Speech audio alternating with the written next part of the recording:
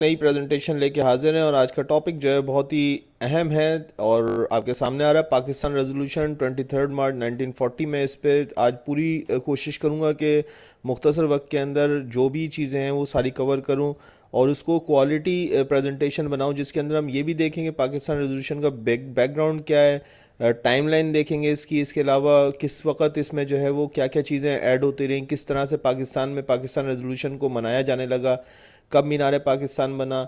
और इसके अलावा बैकग्राउंड में ये कि पाकिस्तान रेजोल्यूशन दरअसल क्या है? ये कि आप वाकई में पाकिस्तान के लिए ही ये मुस्लिम लीग ने ये करारदाद पेश की थी 1940 में या कुछ और भी इसके साथ जुड़ी हुई चीज़ें? जुड़े रहेगा एंड तक ज़रूर देखिएगा क्योंकि इसमें बहुत सारी मालूम इसके आखिरी हिस्से में बहुत इंपॉर्टेंट हैं। तो चलते हैं। मैं हूँ Mohammad Naufal Safan blogs sir Naufal academy अगर आपको मेरा वीडियो पसंद आ रहा है तो प्लीज़ लाइक और सब्सक्राइब कर दीजिएगा। तो जनाब टाइमलाइन को देख लेते हैं पहले पाकिस्तान रेजोल्यूशन की।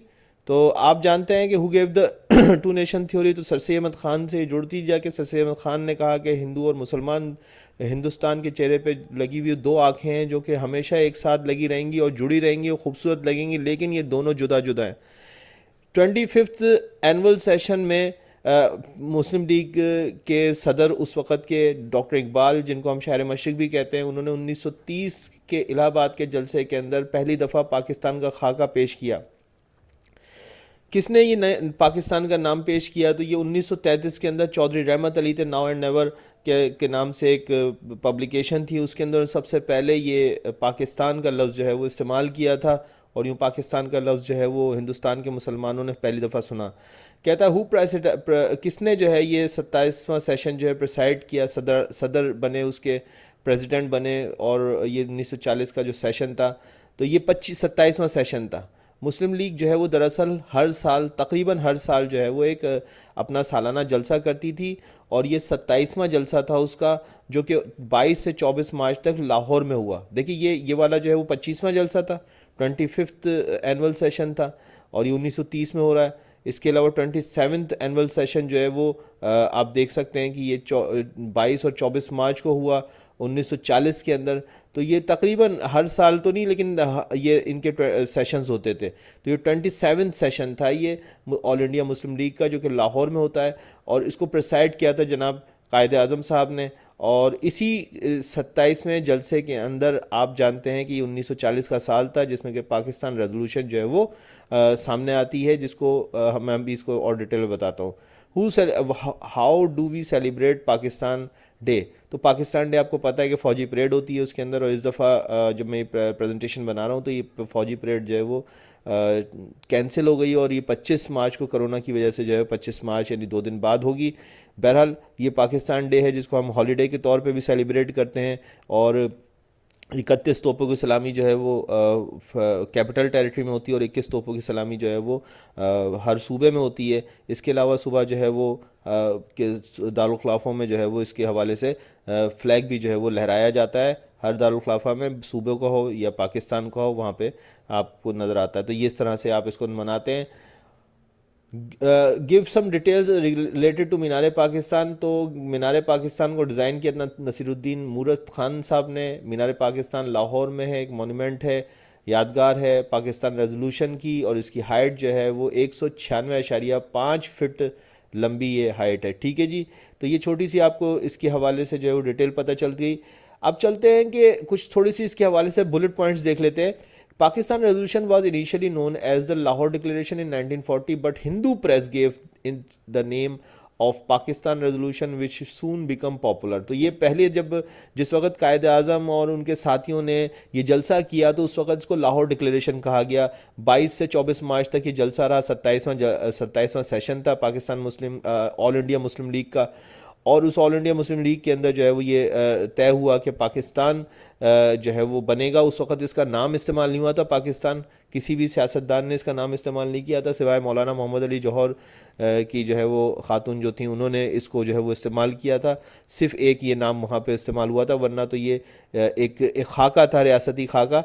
और इस हवाले से हम देखते हैं और मज़ीद।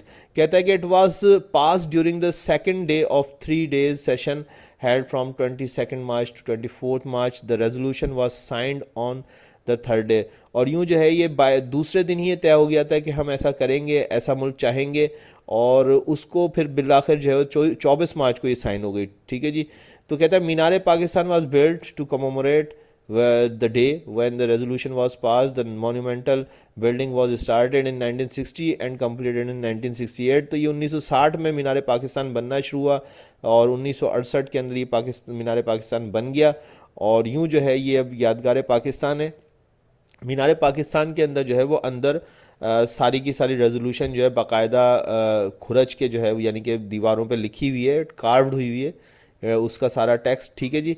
कहता था Lahore resolution was was drafted by Maulana by Mohammad Zafar Ali Khan Zafarullah Khan and was translated in Urdu by Maulana Zafar Khan, Zafar Ali Khan. तो ये ज़फ़रुल्ला ख़ान साहब ने जो है इसको लिखा था अंग्रेज़ी में और मौलाना ज़फ़र अली ख़ान साहब ने इसको उर्दू में ट्रांसलेट किया था उसी वक्त जब वो ये पेश हुई थी। ठीक है जी? कहता था resolution was read aloud by Maulvi Abdul Qasim Fazlul हक। तो ये मौलवी अब्दुल कासिम फजलुल हक को ज़िम्मेदारी दी गई कि इसको जो है वो लाउडली बिना किसी लाउड स्पीकर के जो है वो आप इसको सबके सामने पढ़िए। और कहते the first constitution of Pakistan अच्छा ये एक बड़ी इंटरेस्टिंग चीज़ है, इसको मैं उर्दू वाला हिस्सा पढ़ देता हूँ कि तेईस मार्च उन्नीस सौ छप्पन को पाकिस्तान का पहला आइन नाफिज हुआ। और इस दिन को योम जमहूरिया करार दे के दे दिया गया और अगले तीन साल तक इसे योम जमहूरिया के तौर पर मनाया जाता रहा। फिर 8 अक्टूबर उन्नीस सौ अट्ठावन को मुल्क में माशाल्लाह नाफिज कर दिया गया और उसके बाद 1940 की करारदाद पाकिस्तान की मंजूरी की मुनासबत से योम पाकिस्तान में तब्दील कर दिया। ज़िया के दौर में योम पाकिस्तान पर फौजी परेड होना एक मामूल बन गया। इस साल परेड 25 मार्च को कोरोना की वजह से की जाएगी। तो मैं साफ़ के लिए लिखा हुआ है कि पहले ये 23 मार्च उन्नीस सौ छप्पन को से लेके अगले तीन साल तक जो है वो ये बेसिकली जो है योम जमहूरिया के तौर पे मनाया जाता रहा, लेकिन उसके बाद क्योंकि वो आइन ख़त्म हो गया तो उसके बाद जो है वो मुल्क के अकाबरीन ने जो है वो इसको तेईस मार्च 1940 की नस्बत से इसको रेफ़र करते हुए इसको एक अलग हॉलीडे के तौर पे मनाना शुरू कर दिया। तो ये भी आपको पता चला कि पाकिस्तान में कब से ये योम पाकिस्तान मनाया जा रहा है तो ये आपको समझ में आ गया। आगे चलते हैं। देखें Lahore resolution was actually passed for the at least two separate Muslim states ये थोड़ा सा आप टेक्निकली समझ लीजिएगा कि लाहौर रेजोल्यूशन जो है वो जब पास हुई थी तो उस वक्त कहते हैं जो जितने भी हिस्टोरियंस हैं, उनमें से एक्सपर्ट्स ये कहते हैं कि लाहौर रेजोल्यूशन सिर्फ़ एक पाकिस्तान के लिए नहीं, बल्कि दो पाकिस्तान, यानी कि दो अलग अलग मुस्लिम कंट्रीज़ जो हैं बनाने के लिए पास हुई थी। और कहते हैं the Lahore resolution said that that the areas in which the Muslims are numerically in majority, as in the northwestern and eastern zone of India, should be grouped to constitute constitute independent states. States, मैं इसको emphasize कर रहा हूँ states. ये देखिएगा ये highlight हुआ हुआ है in which the constituent units shall be autonomous and sovereign.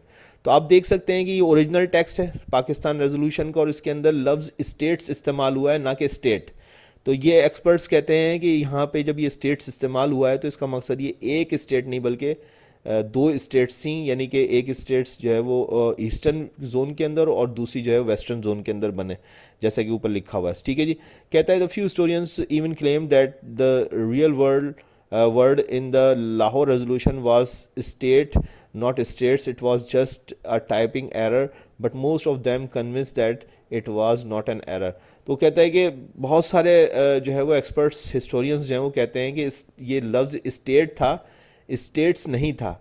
और ये टाइपिंग एरर था क्योंकि बाद में, आने वाले दिनों में आपको बात बताऊँ कि Mohammad Ali Jinnah and the company ने इस बात को अगली एक और रेजोल्यूशन थी, दिल्ली रेजोल्यूशन उसके अंदर क्लियर कर दिया था कि मुस्लिम लीग दो स्टेट्स नहीं बनाना चाहती बल्कि एक ही स्टेट बनाना चाहती है। तो अगर वो एक्सपर्ट्स ये कहते हैं कि अगर कायद अजम के जहन में दो स्टेट्स होती तो फिर वो बाद में भी इस, इस क्लेम को लेके आगे चलते। तो इसलिए ये स्टेट्स का लफ्ज़ जो इसमें टाइप हुआ हुआ है ये एक टाइपिंग एरर है। और इस लिहाज से तो ये बात सही मानी जा सकती है क्योंकि मुस्लिम लीग ने आगे चल के कभी भी दो स्टेट्स मुस्लिम मुसलमान दो रियासतें नहीं मांगी अंग्रेज़ों से बल्कि उन्होंने एक ही रियासत की डिमांड की थी। बहरहाल टैक्स के अंदर जब ये स्टेट्स लिखा तो एक्सपर्ट्स ये कहते हैं कि जिस वक्त 1940 में मुस्लिम लीग का जलसा हो रहा था, उस वक्त के जो अकाबरीन थे, सियासी मुसलमानों के जो सियासतदान थे उस वक्त के, वो उस वक्त शायद जो है वो ये चाह रहे थे कि एक मुल्क नहीं, बल्कि दो मुल्क बने। तो ये कुछ लोगों का इस तरह का इसका एक्सपर्ट व्यू है। तो और ये इसके अंदर आप देख भी सकते हैं कि इसके अंदर मौजूद है। लेकिन बाद में मैं बताता हूँ किस तरीके से क्लियर हो जाता है और बिल्कुल एक ही मुल्क के ऊपर जो है बात आके रुकती है। वो किस तरीके से, देखें according to the doctor Safdar Mahmood he claims that Jinnah clarified to the foreign correspondents on March 24 1940 that Muslim League wanted only one state तो कहते हैं कि उन, अगले अगले रोज़ ही चौबीस मार्च को 1940 को कायद अजम ने कुछ बैरून मुल्क के नुमाइंदों को जो है वो इंटरव्यू देते हुए कहा कि मुसलमान जो है वो सिर्फ़ एक मुस्लिम लीग एक ही रियासत जो है वो चाहती है। Lahore resolution remained undefined until April 1946 in daily resolution April seven April 1946 the word, word Pakistan was used for the first time in that resolution तो जब ये दिल्ली रेजोल्यूशन आता है सात अप्रैल 1946 को ये मुस्लिम लीग ने ही पेश किया था, दिल्ली रेजोल्यूशन दिल्ली के अंदर, दिल्ली के शहर के अंदर।